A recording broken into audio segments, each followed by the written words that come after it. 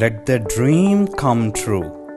In the beautiful city of Bishkek, the land of greenery, where there's a prestigious institute, Avicenna International Medical University.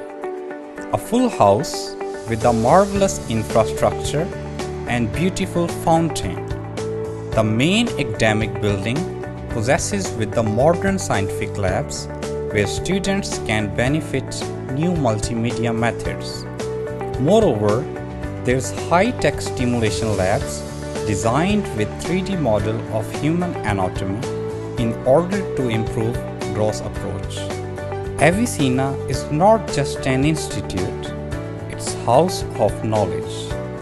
High quality training at the campus is provided by high skilled teachers and staff. Clinical classes are organized in main campus and affiliated clinic of university. Staff and teachers communicate both in English and Russian. Every student has free access to library where they can study books of their own interests.